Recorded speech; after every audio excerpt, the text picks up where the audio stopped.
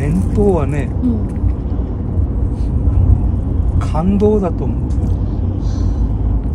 感動の継続が伝統になってくると思うんですよね。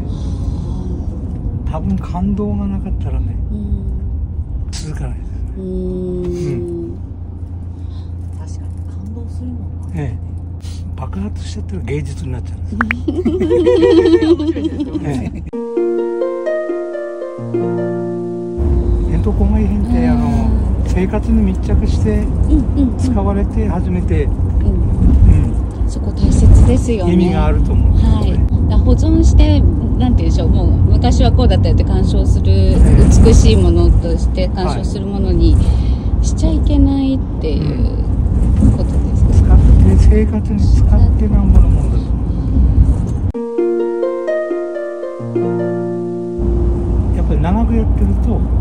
全てにおいて追追求したくなるんですよね、うんうんうん、鼻緒の中に餅わらを叩いたものが芯に入ってるんです。うんはい。でもち米のわらが芯に入ってるんですよって言ったら、ある女性の方が、はい。私は皮膚が弱いからええ。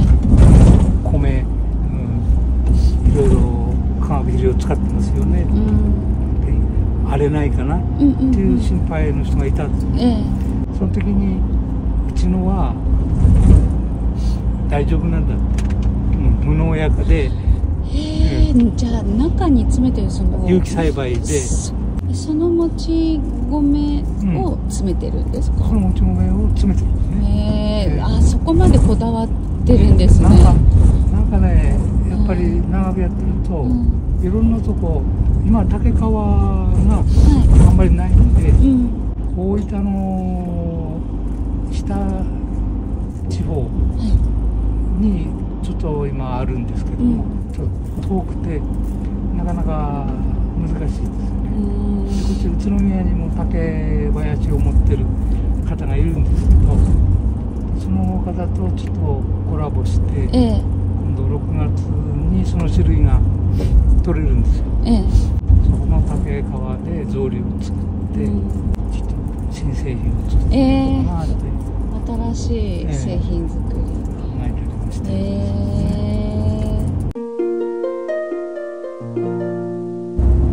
いうのはやっぱり手作りと大量生産の、えうん。やっぱりどっちもいいところをうん追求していかないとね。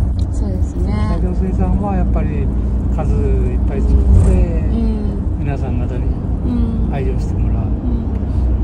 逆にこの手作りの方は一つ一つ手作りだからちゃんとしたうん手に合ったものを作るそれをやっぱりちゃんと分けていかないとうん残らないですよねうんうんそうですねおっしゃる通だから手作りの人がりええ左に大量生産の真似しても行く末は見えうんてます、うん自分を生かしきれない。だうんうん。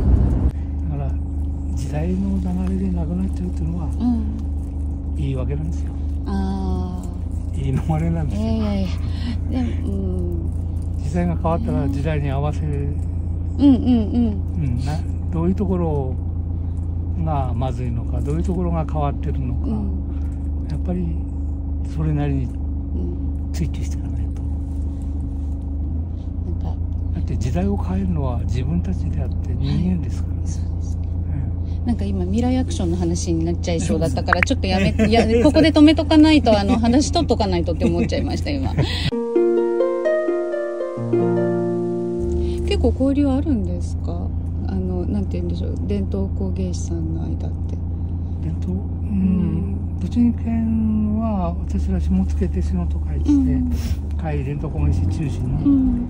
作ってる会があるんですよ、うん。それに入ってるんですけどまあ私たまたま副会長を今やらせる、うん。だからその中ではもう全部皆さん方にうん。下駄に何かコラボできるものをうん。考えてくれって宿題は出してるんですよ、うんああなるほどコラボのね。え。えー、でそこから生まれたものってあるああーダメだ。未来アクションになっちゃ結構いっぱい。ありますよだから、う 危ないうん今度のあのあれも先製品作ろうも、うん。まあ吉原さんがやってるええ。鹿沼組子のはい。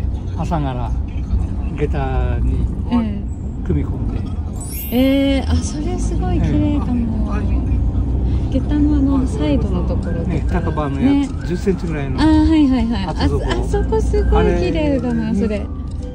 7センチぐらい穴開いてるんですよ、はいはいはい。あの穴開いてるところへえー、組子を入れて、えー、それすごいかっこいい。ね。富永愛の伝統と未来。今回の舞台は日光東照宮。世界遺産を守る職人の技と生まれた伝統工芸とは。BS 日テレで毎週水曜夜10時放送